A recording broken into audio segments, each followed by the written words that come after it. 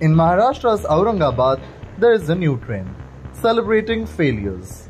That's right, students are partying to celebrate their mistakes. We constantly reward success and look down upon failure, failing to appreciate just how important it is to fail in order to succeed.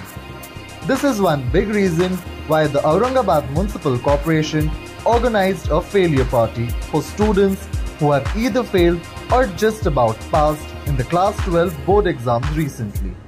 There was music, food games and warm smiles at the Aurangabad Smart City Lighthouse Skill Development Center. The idea behind the event, the organizers say, was to celebrate the journey of all students who needed to be heard and not judged. Head to TOI Plus to read more about this failure party.